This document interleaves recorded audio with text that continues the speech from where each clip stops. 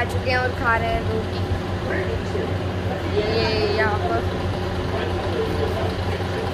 मैं dual recording कर रहा हूँ और यहाँ पर रोटी चुकी है। इसके बस की कुछ नहीं है।